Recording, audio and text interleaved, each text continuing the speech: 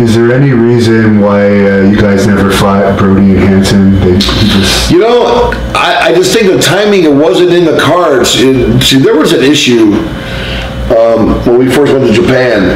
Brody had a problem with it. Because he knew that we were gonna get over huge in Japan, right? Just with the Japanese love, of the silver and black and painted faces and just our attitude. And, and Brody was the only guy over there with that kind of attitude and he didn't like it very much. So Brody kind of stayed away. We were friends with Brody, but he just kind of stayed away. Now we wrestled Stan and Harley Race and had a beat down in Cleveland, Ohio, with the Chicago Street Fight. It was brutal. All of us were bleeding.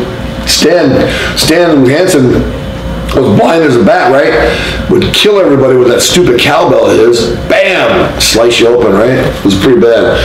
But yeah, Brody, Brody was a good guy. I mean, I'll, I'll never forget. You want to hear Brody's story? I'll tell you Brody's story. Jumbo Tsuruta in Japan, right? Would always screw up Hawk's high spots. Everything I did with Jumbo, he was smooth as silk, easy. Every time he got in the ring with Hawk, he'd screw it up. Well, after about a two-month tour, Hawk's pissed off. Jumbo screwed up every night for two months in Japan. And tradition in Japan, you gotta really be respectful. You don't kick doors, you don't break windows, you don't break glass hands. Well, not Road Warrior Hawk.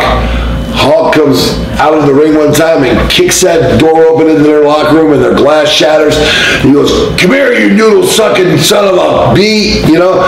He goes, I know you understand English. You better quit screwing up our high spots or we're really gonna have issues. Jumbo Tsuruta. Cer- Tsuruta was 6'8", 300 pounds, right?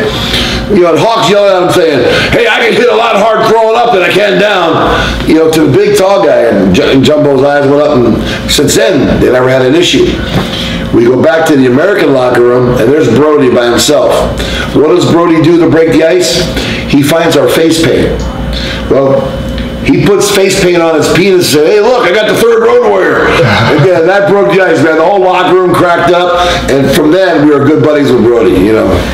is that why you uh, never worked for uh, WWC Puerto Rico in later years after you passed? You know, uh, out of respect to Frank, we didn't go back to Puerto Rico for a while. I mean, because we wrestled Carl, Carlos Colon a bunch of times. He and Abdullah, we wrestled in the, the outdoor stadium there and sold it out and had a great match with him. I love to do it, but you know, out of respect to Frank, we never went back to Puerto Rico.